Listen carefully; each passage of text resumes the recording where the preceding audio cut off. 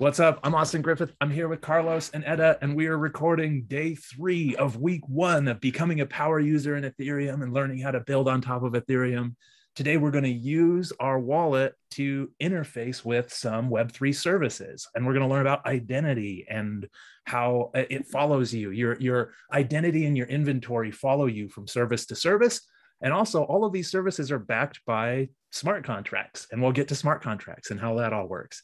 So I think the best place to start is if Etta creates a brand new account in her MetaMask, and then I'll send some ETH to it, and then Etta registers an ENS address. Should we start with that? Go ahead and uh, let me set it up so you can share your screen. Go ahead and share your screen and just show us how we would create another address within our MetaMask that we've already set up. So last week we kind of set up a MetaMask. We learned about our seed phrase. We learned about how to protect it, what levels of security we need for two different things. So this is just creating a new account within an existing MetaMask, right? Given one seed phrase, you can create as many accounts as you want. And let's see what we got here. I've All already right. got like four accounts here and let's just create a new one and let's call it um, since we're what are we going to call it? Call it Zoom. Zoom me. Not very creative. uh, but yeah, okay. So I am going to go to mainnet right now, and yeah, I have my like different networks. Uh, we had set like the uh, test networks. I have a couple of other ones as well here, but um, yeah. So I have a new account just created two seconds called Zoom. And All right. we are and if you send, sorry, go ahead. if you send me that account, I'll send you some ETH so you don't have to pay for the swaps and stuff. I'm just sending it to you from Okay. And chat. I'm going to steal the screen back and I just want to show me slowly going through sending some ETH, right? Oh, sorry for my messy desktop. Jeez, jeez.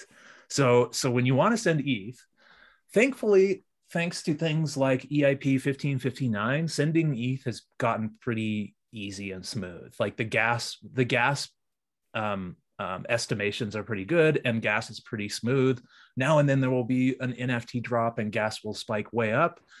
Uh, but uh, if you remember from last week, we talked a little bit about like basically gas is you spending a little bit of ETH to send or make some kind of transaction, and you're kind of bidding at some limited block space. So if it gets busy all of a sudden, the bids go way up. But uh, yeah, Etta, if you send me that address, oh, I got it. I got it. There we go. So notice that when she's sending me the address, it's this big, this big old address thing. Let me let me show you. She sent me this right here, right? This AE nine four five nine. That's really hard to keep track of, right? At least we have these nice little like blocky previews, so we can kind of have a little visual look about what these addresses look like. But handing these things around is kind of cumbersome, right? It's hard. Like imagine if you had to retype that or something. You would never want to do that. So we're going to get to ENS here in a little bit where, where we kind of give a name to an account and then it's easier to to refer to and to send around. But right now, I just want to send a little ETH to this account, right? And I'm kind of looking at the gas tracker. Oh, gas went up, right? It went from 80 to 100. If we had put in a transaction right at 80, we'd be waiting right now for, for that to get mined. So I'm just going to open up my MetaMask here and hit send and paste in at his address and send like 0.2 ETH or something like that, 0.25. How about that? And normally I just hit next and hit send. I, I don't usually have to look at the uh, gas very closely, but let's just take a quick peek at it just to see. So there's kind of like some different settings. Again, you're bidding to get your transaction through. You could bid a lower amount and that transaction will go through slower. You could bid a higher amount and it will cost more and the transaction will go through faster. But if we really look in here, it's basically setting us up at like 129 which is well above this this 92 that we're seeing here so this should go through right away actually let's let's cool it down. Let's let's put it right at 91 it's saying oh that's not a good idea. Let's let's try it and it's just going to make the transaction take a little bit more time and that's okay. Uh, we can we can even speed it up but there we go. So that that's going to go into the mempool now and all the miners are going to see that and they're going to greedily pick the best transactions that will make them the most money and mine those into the next block. So we're just kind of like waiting for that gas to get down to 91. And if we uh, wait a second here and this still is to, oh, 75, look at that. I got in way cheaper than they were. They were probably going to charge me eight bucks and I only paid five bucks for it. How about that? so we got through, the transaction went through. Hopefully, Edda, now you have that. And we can go to a disinterested third party and we can hit reload and we can see, sure enough, Austin Griffith.eth sent uh, uh, 2.5, 0.25 ether to whoever 8A94 is, right? And we can kind of see that as a from a third party. Uh, so we know that that went through. And I'll hand it off to you, Etta, if you want to take over, and we'll do we'll do some ENS registration. Yeah, All that right. was a really fast transaction. Yeah, at low gas um, too. A really fast and uh, efficient and cheap, right? yeah. uh, so it directly came to the account. We're on Ethereum mainnet. So um, yeah, if you're like on another network, you won't probably see it. So just be sure to like have the correct mainnet. Uh, and now I'm on ENS. So this is like ens.domains. And we're basically going to go to the app so that we have like a better name, like nick.eth or um, something else. Kind of like DNS. I think, Carlos, you hinted at kind of like explaining how DNS is similar to ENS. Do you want to speak to that? Yeah, I mean, um, when you you think about DNS, um, if you try to remember the IP of the server that you want to connect, it will be like super hard, right? Um, so yeah, um, so this is the same thing. If I want to send like ETH to to Eda, if I have to remember her uh, full address, it's going to be super hard. But instead of that, uh, he ha- she has like something like eda.eth is going to be super easy to remember. So it's kind of the, the same thing, like uh, uh, names to IPs or uh, names to Ethereum addresses, right?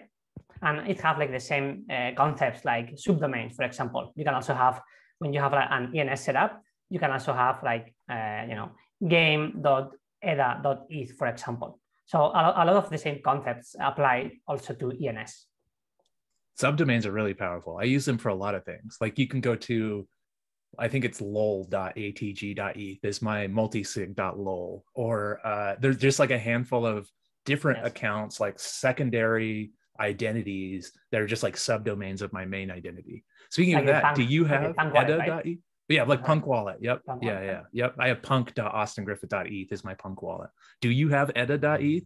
EDA. Someone else has eda.eth. I have eda tweets.eth, ah. like, but I miss eda.eth. and yeah, and those three letter like, ENS blew up. It.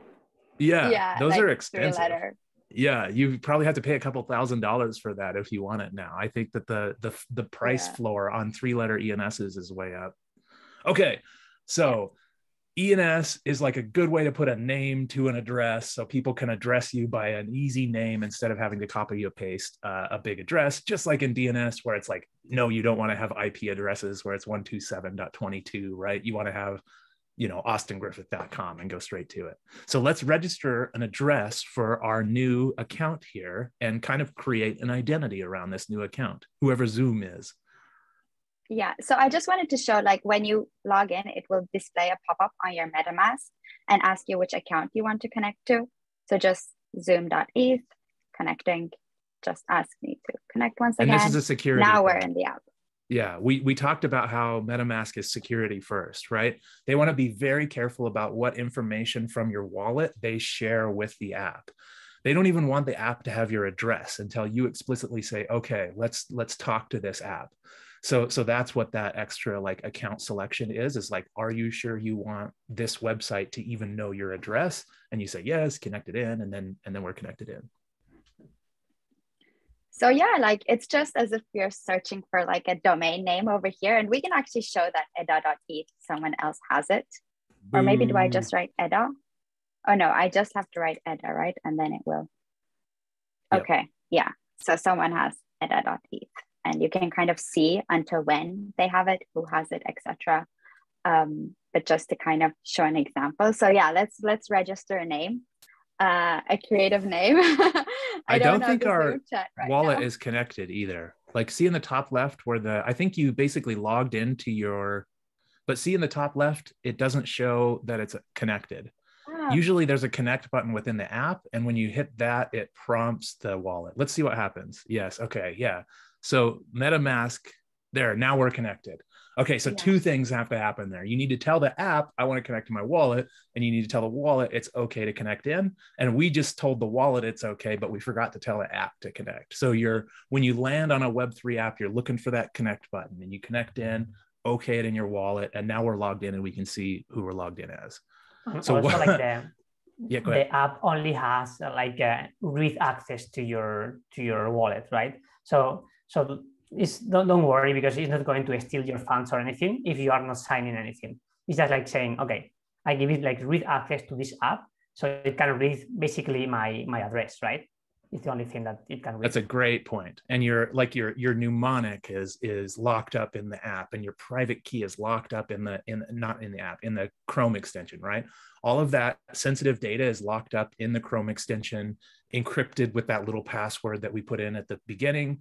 So yes, like there's like this nice like kind of big protective wall within this this Chrome extension and we're throwing transactions over the wall and then we're signing them and we're throwing them back right? So the private key and none of that stuff is ever exposed. The only thing we're really exposing to the site is hey this is my address and then whenever you want me to sign something you kind of chuck it over the wall to the to the wallet.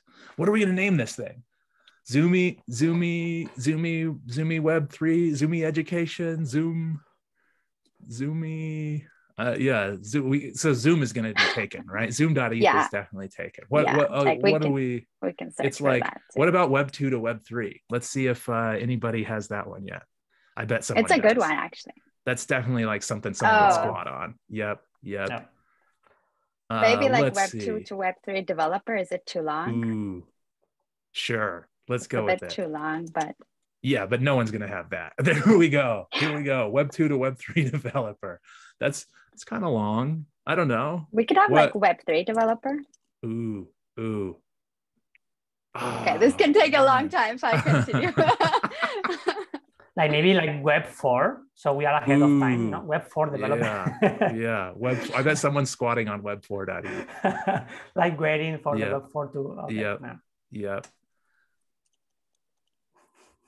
Yeah, IDK. I mean, no one's gonna have Oh. that one. this one's Let's see. available. Yeah. uh, what about web? Hmm.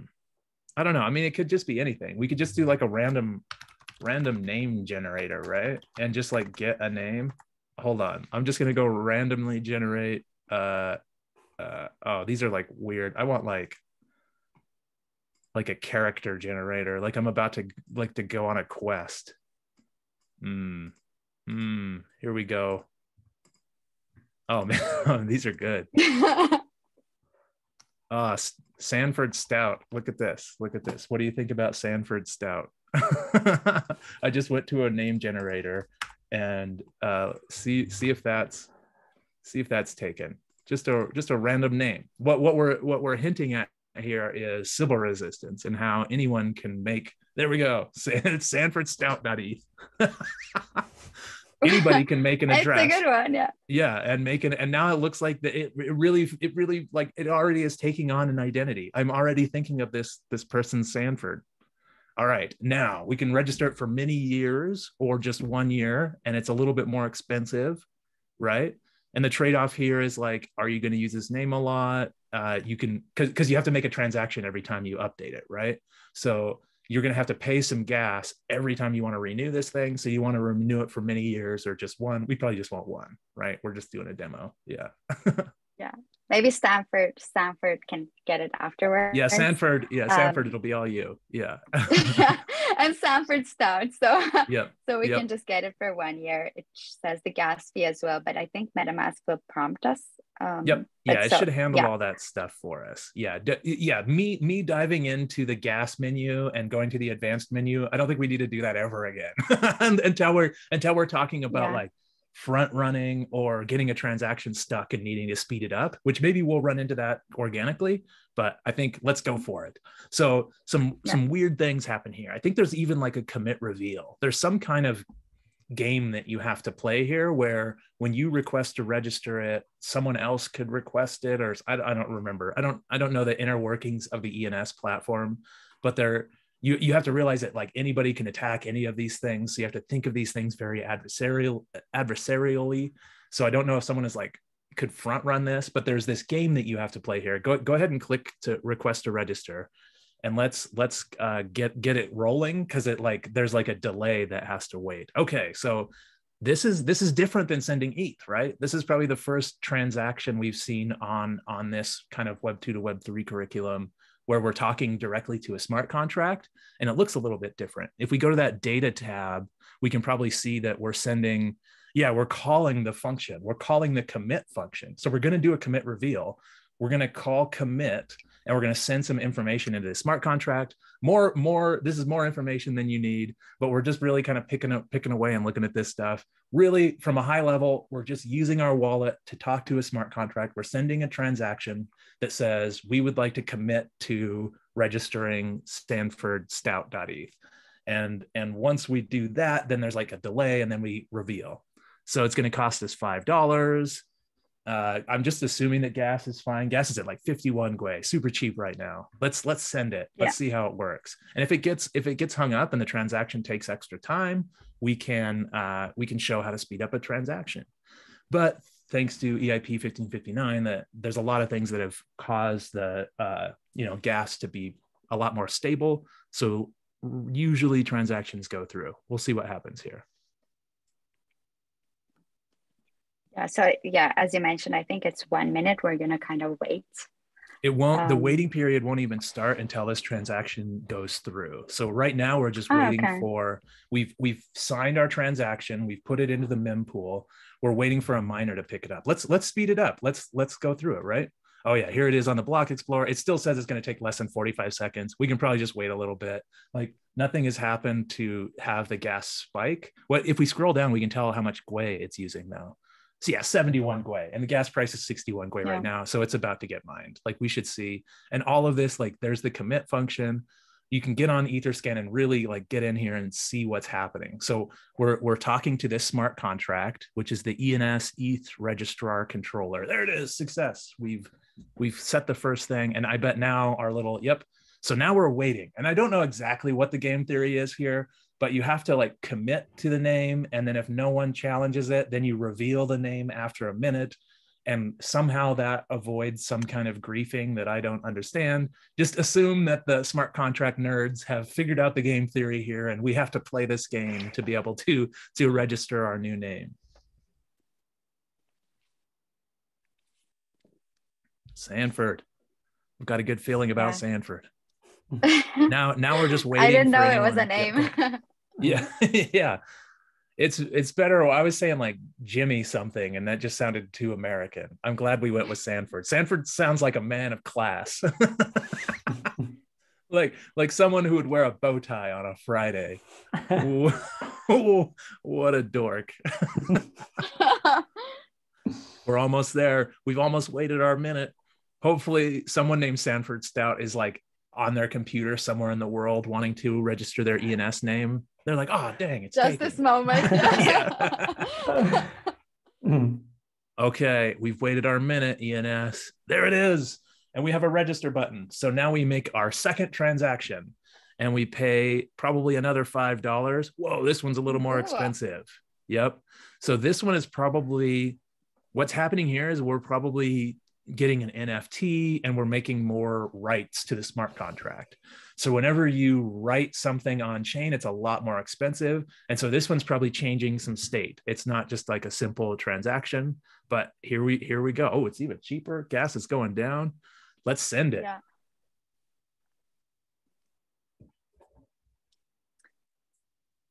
All right. So we're waiting for that transaction to go through. Again, same thing. Like we go look at it on Etherscan.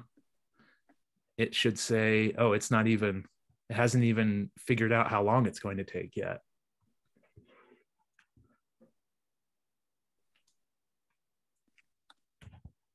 Oh, there we go. Figured it out. Yep.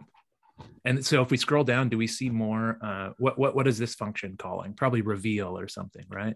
Register Register. with config. And there's a secret there, and that secret is what we're is the reveal. Yep. Ooh, nonce one, right? We can talk through the nonce. I think we talked a little bit about nonce and replay protection in the first, but your nonce is here, and we can see this is nonce one, so it's basically your second transaction because it's zero indexed. So I guess like the reason that they are doing this uh, commit reveal is because if not, like people will like steal your ENS, right? Yes. Like like they will see the transaction with your with your ENS name, and they will maybe like send another transaction with a, a higher gas price, right? And they will like steal your ENS from from you, and that's why they need to do it this way. Interesting. So it's like front running ENS registration. You could just watch Vitalik's address, and anytime he interfaces with his contract, you put his exact information in, but at one higher gwei, and then you'll steal every name he tries to register. Yeah. So the commit reveal kind of gives you a hook in on it, and then you kind of reveal it later to get it back. Cool. And it's and it has to be the same address. Like whoever reveals the secret has to be the same address and it has to hash to whatever the commit was. And that lets you lock in the name. That's got to be it. Good call. Did you just look that up right now or did you know that? No, no, no. I, I wasn't guessing. I don't know. Dope. No, I think I think that's right. Oh yeah, and token ID. See, see, we minted a token. Uh, ENS is like one of the first NFTs, which is really interesting because it's like this non-fungible token before non-fungible tokens had the name non-fungible token. But it's it's sort of this token ID with this huge number that we own, and we own that new token ID that goes to Sanford, Sanford Stout dot ETH. there we go. Okay, so now uh, if we were to let's go look up, let's let's copy and paste Sanford Stout ETH and paste it into Etherscan. So if we were to just go to Etherscan and ask it, who is Sanford Stout? It should be able to tell us that it's this address.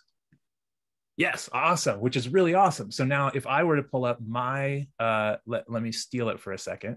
If I were to pull up my wallet and type in Sanford Stout, look at this. So this is this has nothing to do with the ENS website, right? I could be over on something else, right? I'm just opening up my wallet now. This is kind of showing how identity goes goes from service to service. Now if I type Sanford stout.eth yes there we go there is our new and we can see it matches the the ens and if i send another 0.01 and hit send there we go. So this time i didn't have to get some weird address. I can just remember sanford's name is sanford stout. I'm like oh sanford let me send you some. Sanford stout.eth boom i send it. Boom it's done. And there's no like copy and pasting and weird triple checking of addresses. I kind of looked at the blocky a second to make sure, but it was a lot easier to send you ETH this time when you had a name rather than when you had uh, the address. But we've only done two of the three transactions. So we have one more transaction, and that's the reverse record. And, and what the reverse record allows you to do is if someone says, this address is logging into my website, how do I look up what the name is for the address? So instead of going name to address, we want to go from address to name. And the way to do that is you basically, it's nice, it's set your primary ENS name. ENS has done a really good job coaching through the user experience to the to here. And you should be, be able to pull down on that list and it should have Sanford like as the default on that list. Yep, there we go. Perfect. So, So you'll do that. so Yep, go before- ahead. so before doing this, like if you sent money to like Stanford Stout, it will come or like I'm I'm not exactly sure. Like after this step, this it's- step is doing the reverse record so so right now basically i can send money to sanford stout and it'll totally work fine uh, Okay. it's the it's the reverse of if if i only know this user this uh, account right? This 0xa894 and i want to know who that goes to. This is sets that up. So this is almost for like when you log into an Hmm. app and they only know your address they can go look up the name for that address and display it. And we'll see that when we go swap some some eth in a second. Okay, okay. So I guess yeah, saving yep it. save it. Yep let's do it. Nice and they even say something like this is your cross platform web3 name right? It, it's very like uh, it says it back behind there. Yeah. So another twenty three dollars. So what was it? Probably like Yeah. about sixty dollars to register this. Sixty or sixty five dollars. I think we paid something like that. So ki- kind of expensive, right? But remember, this isn't Yeah. your name for one thing. This is your name for all of Web three. This is every app that you go talk to from now on will know you are Sanford. And whenever anybody wants to send money to Sanford, they can just type in Sanford Stout and send it, right? And it's a lot Okay. easier, yeah. Like instead of remembering this when you are like out and trying to send money to each other. And and another interesting thing here is I can register and point ENS addresses at lots of different. Uh, I can point names at a lot of different addresses, but to do this specific action where you point some address to some name, it takes a, a transaction from that exact address. So if like you have a multi-sig that you want to have behind, like I said earlier, like a subdomain or something, you you basically have to have that multi-sig make the transaction. And that's just out of safety, right? You wouldn't want someone to be able to spoof spoof someone else's name. So the only way you can set the reverse record is to make a transaction from that exact account. And it, it's got to be through, right? Did it did it mine? Are we good? I didn't get any we didn't get any feedback here. Welcome welcome Yeah. to Mhm. user experience on web3 yeah one minute Yeah. ago we, So we it see that did it went through yep yep yep Yeah. great great check there cool so so i've sent in twice and i've sent okay so now we have our identity we've registered an ens name we've talked to a smart contract we've made a transaction and now we're registered in the ens registry as sanford stout and now sanford stout can go use other services within web3 and his identity and reputation and inventory will follow him from site to site I think he's a dude. I shouldn't be, you know, assuming, but I've just been calling Sanford a he. Whatever, Sanford. They Sanford is about to go swap some tokens, right? We're going to uniswap.org and we're going to swap ETH to a stable coin. Okay, so here we are. This is this is what a typical web3 app looks like, right? There's some stuff going on, but the connect button is that most important, right? You're looking for that, even a network, right? Now that we have L2s, you've got Wallet Connect, Coinbase, some other accounts, but we're just going to use MetaMask. We make sure we have our Zoom. We call them Zoom. We should probably rename that to Sanford now that we've given it a new Yeah. name. but Zoom is our. Sanford account. Yep. And we connect it in. Now look what happens. Oh, Nice. wow. Our name has followed us, right? No matter what app we go to, as soon as we log in, they're going to know we're Sanford Stout and that's going to show up, right? So two completely disconnected services now can can use the same exact identity and that identity is going to follow you from place to place. Should we do a swap? Should we should we make it happen? swap. Maybe like 0.1 So- ETH? Yeah. Go ahead. Yeah. Sorry. It gives us like the different options. Like we just have ETH right now, but you can select if you have multiple tokens. Um, but yeah, let's let's select a token to swap it to. and all of these Um, tokens right the the the the the first if we think of ethereum as an app store right the basically the the thing that we're using ethereum for so far is just sending around value but now if we think of it like an app store the vest the the first killer app deployed on ethereum is an erc20 token right? Instead of to, to create a decentralized currency before this you had to like create an entire platform of peer-to-peer miners. Now with ethereum all of that substrate is taken care of for you. You can just deploy a smart contract that keeps track of everyone's balances and you can create a decentralized currency in a couple of lines of code and so any of these given currencies DAI, USDC, USDT, WETH, all they are is just a smart contract that's keeping track of who has what and a transfer function that lets Alice, you know, send some to Bob and it changes those those that mapping of who who owns what. So let's let's just swap to DAI, the the classic. And and DAI is a stable coin and we should get in and talk about that a little bit more. But here we go. So so what's happening here is we're going to put in 0.1 ETH and we're going to get out 206 DAI. And when we're ready to pull the trigger, let's go for it. Yeah, it also gives us a gas estimation, but it will already appear. Oh, gives us again.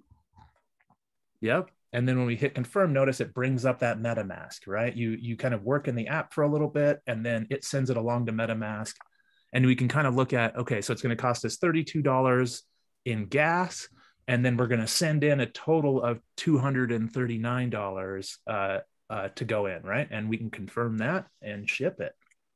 So, so the token right? Anyone can go ahead carlos go ahead please. no no i was going to say that maybe we should like explain what uniswap is or what are decentralized exchanges because people if they are just like watching this and maybe they don't know what what we are doing because uh, we talk about Coinbase the other day. I think about uh, where we, we were talking about wallets, about having like custodial wallet or non-custodial yeah. wallet, but we didn't talk about uh, centralized exchanges or decentralized exchanges.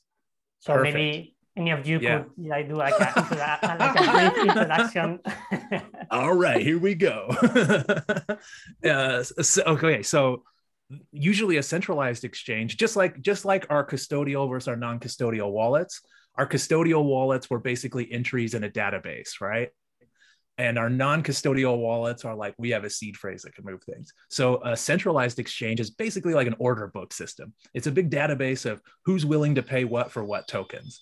And then a decentralized exchange is a smart contract that keeps reserves of both the tokens and allows you to swap between the two right in the smart contract. So there's no centralized point of failure. With with a centralized exchange, there's a database and there's all sorts of stuff that could get attacked or fall over. So this is a really big uh, kind of um, it's a really big step for decentralization to figure out how to have a smart contract allow you to swap from tokens to ETH. And it does it in this really clever way where the smart contract itself holds reserves of both.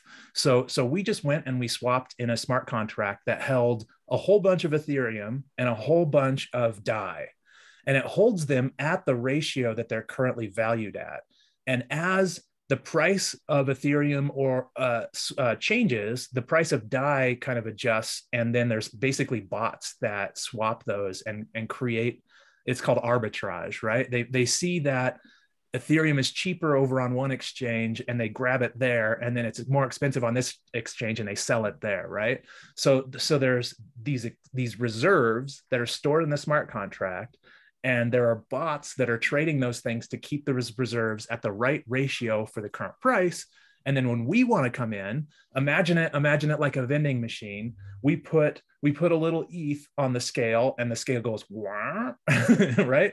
And then we take off a little token and then the, the scale evens again, right? And that amount we take off basically is like what they return to us. So that's that's a quick like quick and dirty uh, in week three we will build a decentralized exchange and we will really look at the solidity code and we'll look at the price function and we'll understand how these reserves are backed by this like lp token that that is like your share of the reserves oh by the way those reserves uh, you're you're earning a fee on those reserves, right? You you as the liquidity provider are incentivized to put your ETH in, so then when people swap back and forth, you earn a little fee. And that that also zooms in on the fact that this decentralized exchange is not run by any particular person. It's a smart contract that has a set of rules and anyone can provide liquidity. Anyone can provide both ETH and DAI at the right ratio and own a little bit of the liquidity and therefore own a little bit of those fees that are coming back to them. So really, really cool concept. Just want to like scrape the the surface there. Really, really cool concept to go from if you wanted to swap tokens and ETH four years ago, you basically had to go to an order book system and sign a message, and it goes to a centralized server, and everyone else is going to this central website. And that website could fall down if there's too much traffic to it. It could get hacked, and someone could drain everything. The whole like custodial versus non custodial. And now we have like a smart contract written that can handle that and like many many versions of this smart contract that has gotten better and more sophisticated and things like balancer where you can keep things at different ratios. Uh, the new uniswap does like this really cool uh, uh, like liquidity central or liquidity it's efficiency right? Where since we're, we're holding reserves you can hold all your reserves in a certain range where you think people are going to be swapping and you can earn more fees. That's that's way too much now. We, we we're gone too far. We're too far into the DEX.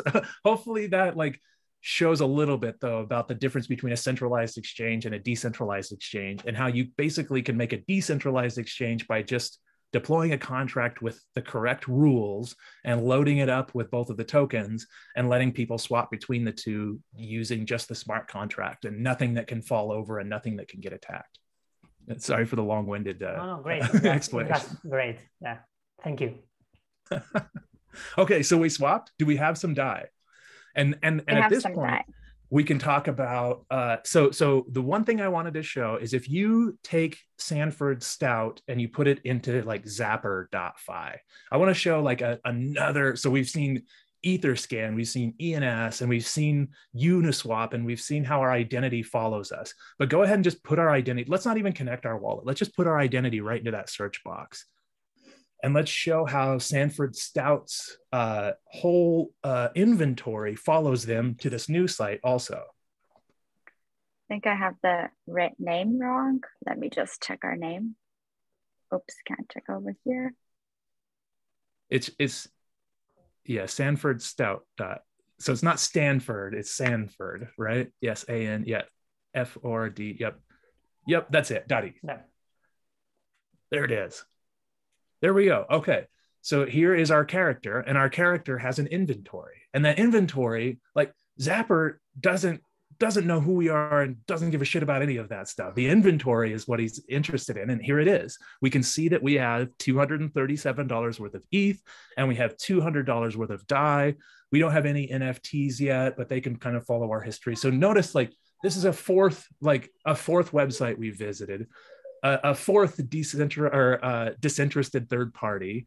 And this is a, an example of another just like Web3 site. You go here and you put in a name and it knows who you are and it knows your history and it knows it knows your inventory. So this really hammers home the idea that like your inventory and and your uh, identity sort of follow you from place to place. And a secondary thing is identities can just be created. We just invented Sanford Stout and now he he's going to go like start interfacing with web3 he's already swapped to some stable coins. Who knows what he's going to do next? Maybe go buy an nft or something right? So hmm. uh sybil is very important because as we talk about these mechanisms that we're building or voting and one one one token or one vote one human it gets really really sticky here because we just created what looks like a human that isn't a human right? And and so Sybil resistance is another thing in web3 that is an unsolved problem that uh, a lot of people are spending a lot of time thinking a lot about. The other thing we should talk about is just like a stable coin right? Yeah. The the fact that this is this is like it's just bad user experience.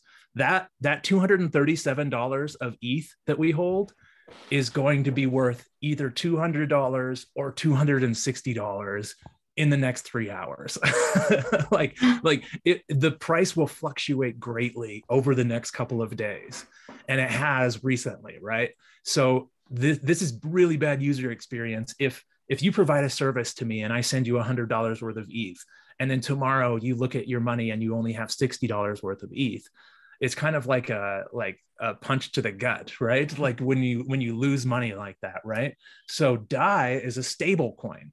DAI is an ERC20 coin that's deployed to Ethereum that you can switch swap to. It's a standard ERC20, but it is pegged to the dollar, tries to stay as close to the dollar as possible using some pretty uh, advanced mechanisms right? If we if we wanted to look at it at a high level and i can try to tldr it but i'm not great at stable coins think think of uh, the, the price of something is basically like a supply and demand, right? If if the supply is high and the demand is low, the price is going to be low. If the supply is low and the demand is high, the price is going to be high. You know, economics 101. So so the first mechanism of keeping this coin stable is like a minting and burning mechanism, where if there's if the price drops to let's say it's it's at 10002 right so it's a tiny bit above a dollar right so what's going to happen when it's a tiny bit above the dollars? We want the price to go down a little bit. So they're probably going to mint some more and increase the supply. And by increasing the mm-hmm. supply, the price should go down a little bit. And then if the price is too low, we should be able to burn some, right? And what they'll do is they'll mint them and market sell them or burn them, something like that.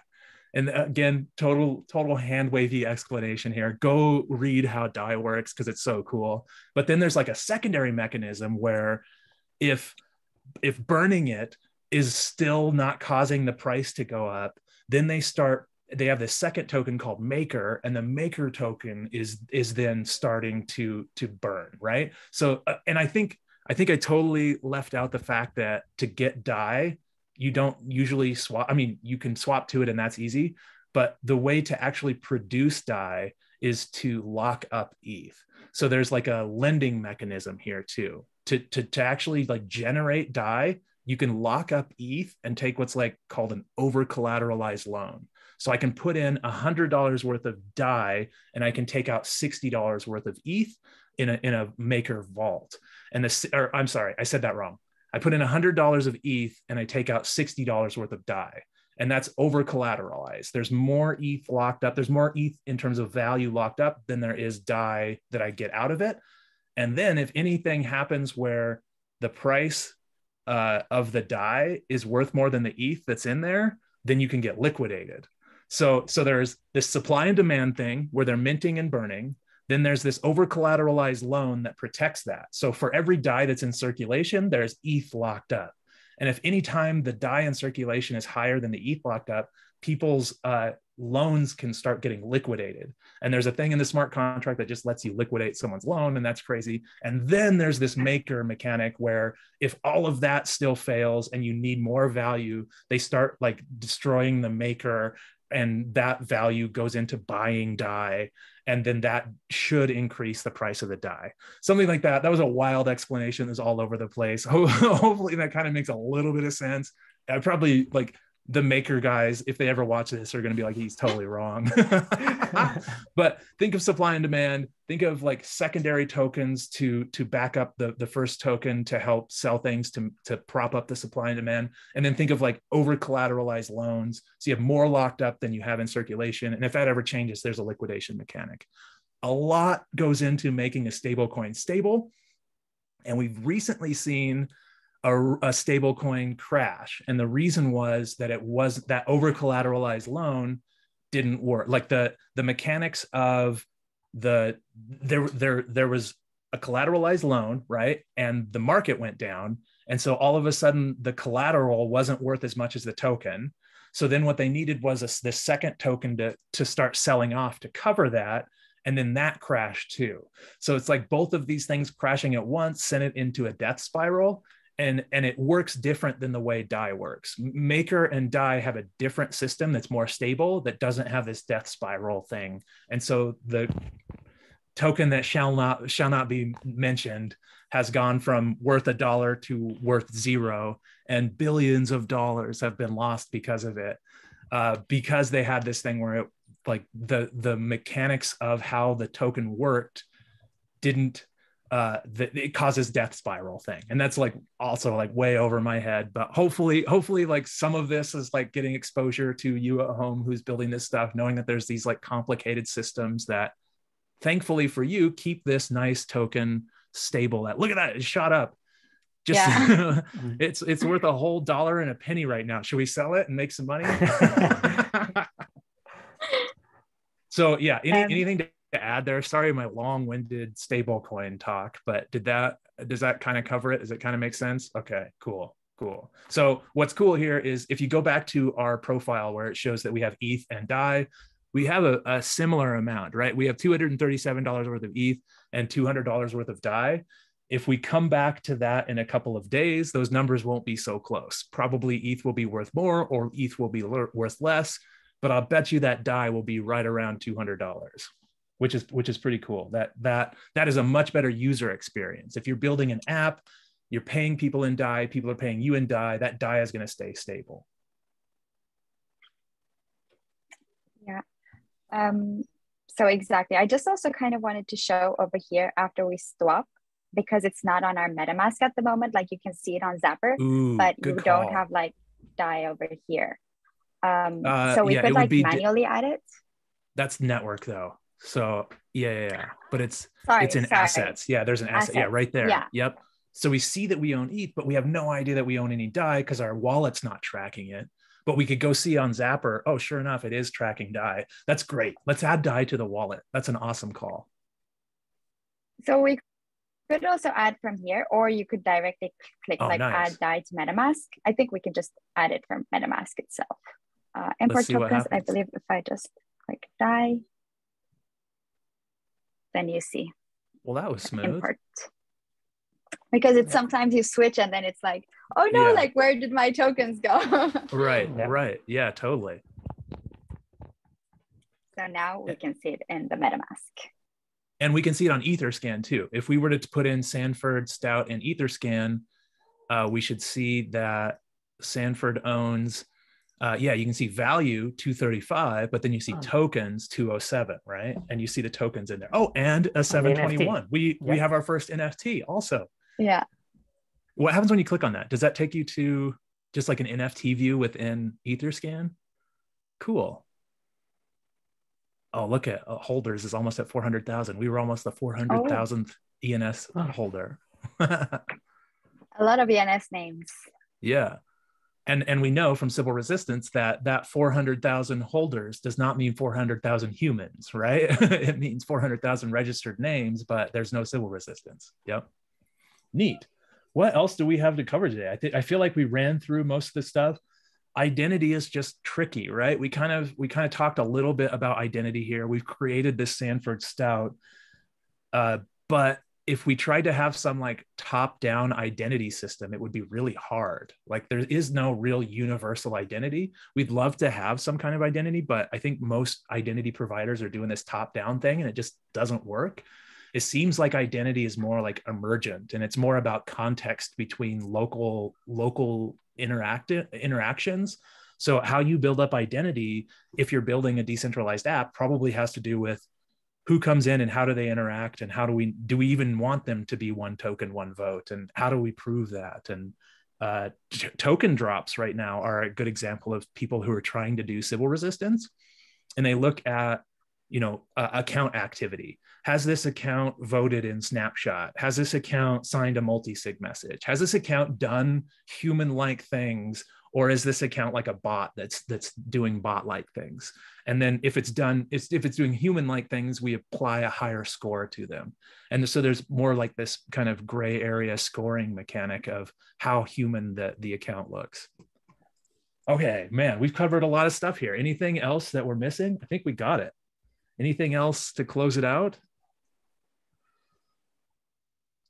I think one note on like the Dex part is especially when building the Dex project, it was really helpful. Like you can see the different, like it's kind of hard to understand in the beginning, at least for my case. It's like, okay, I'm swapping this, but how does this actually work? I didn't really deep dive into it. But when you're building it, you kind of get to understand, okay, like this holds this much, this holds this much, and then that's why the price changed. So I think that will make it a lot more clear once building the project. Like will- right now, yes. it's just I want them, Yep. but Mm. don't then yeah don't worry like, if oh, you don't that understand works. the DEX right now for sure it will make a lot more sense uh, i i almost uh, imagine it like a vending machine and i put either some tomatoes or some dollars in. And if i put in dollars some tomatoes come out. And if i put in some tomatoes some dollars come out. And i imagine that scale in there right? That's that's holding you know there's hundreds of tomatoes over here and there's hundreds of dollars mm-hmm. over here. And when my dollar goes in it makes this more heavy. So i have to pull out some tomatoes to to even it up again. But yeah i just think of it like a vending machine. We're building these really giant we're, we're building these really interesting censorship resistant unstoppable vending machines. And we went to one today and we got a name and we went to another one today and we got some stable coins and our identity and our, our reputation kind of followed us from from app to app. And we in a, uh, in a way we kind of sybil attacked uh, ethereum and we created a brand new human that isn't a human and that that leads to some existential dread. But i think we're, we're becoming a power user we've used our first app we've used our first service and what that means is just using our wallet to sign a transaction that talks to a smart contract and we're going to get farther and farther into that as we go but i think i think we're we're we've made it through day three of becoming a power user Thank you. Thank you, Etta and Carlos. Sorry for all the mansplaining. Happy bow tie Friday. all right. See you guys next time. See you. everyone.